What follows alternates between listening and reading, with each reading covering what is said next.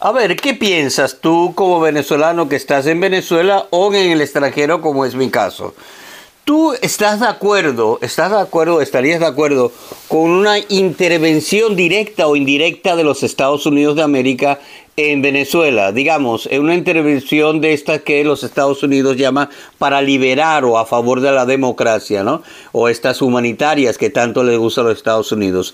¿Tú crees que sería una solución? O, o digamos que ha llegado ya a este punto de desesperación ante la situación de Venezuela que eh, te plantearías como una opción válida el hecho de que los Estados Unidos eh, eh, ayuden a derrocar el gobierno de Maduro. ¿Tú, ¿Te parece bien? ¿Te parece una buena idea?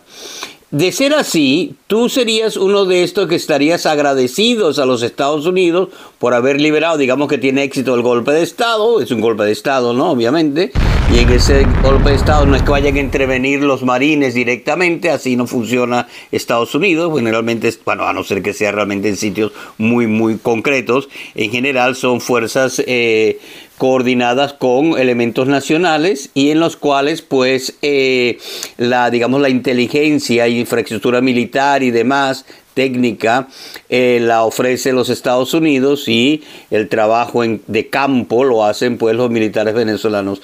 ¿Tú, ¿Tú, estarías de acuerdo con esto? ¿Tú crees que irías a la calle, por ejemplo, si vives en Venezuela, digamos que vive en el centro, la mayoría de, de lo que está en contra de Maduro, creo que no vive en esta zona, pero digamos que vive en el centro de, de Caracas y eh, irías ahí por la avenida Vicente Lecuna con una bandera de los Estados Unidos y una bandera de los de, Venezuela, eh, agradeciendo a los Estados Unidos por la ayuda y por habernos liberado de este eh, infame dictador, presidente, dictador que tenemos en Venezuela.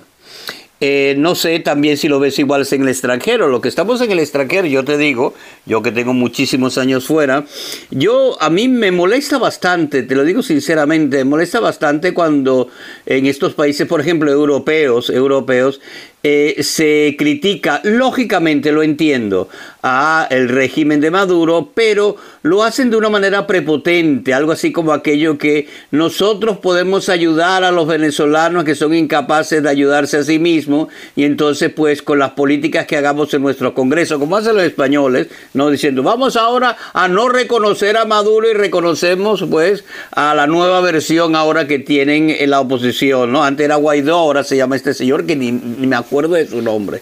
Bueno, pues de, de este tipo.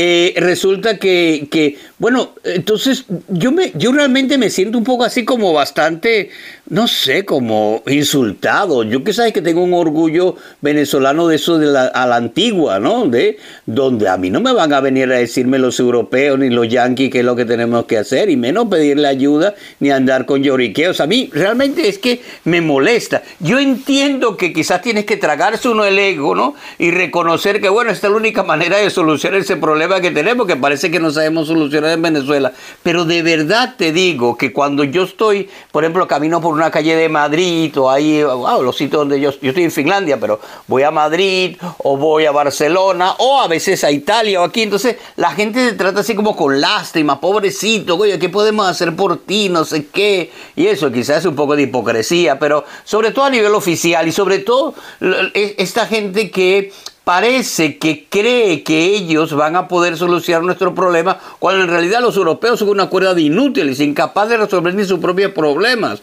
En como mucho quien podría ayudar sería Estados Unidos, pero aún así yo me sentiría como un país de, país de tercer mundo, quizás Venezuela lo es, ¿qué le vamos a hacer? Pero muy tercermundista que viniera, ¿no? Los Estados Unidos, ahí el Biden o el Trump o la payasa nueva que tengan el presidente, y entonces no vengan a, a, nosotros tenemos que agradecerle eh, nuestra libertad. Y eso no sé, yo realmente es que no, no, no me cuadra el asunto, no, no estoy, no somos como muy de acuerdo, esa es la, verdad. Pero no sé, no sé cómo tú lo ves. Yo en eso digamos que eh, estoy abierto a las opiniones que ustedes tengan. Ya insisto, y quizá hay que tragarse el orgullo y aguantar todas estas pistoladas que, que tenemos que escuchar desde fuera. Pero bueno, ya me dirás, muchas gracias y ya sabes, aquí estamos en la taberna de Miguel que está en Finlandia, en tu taberna. Adiós.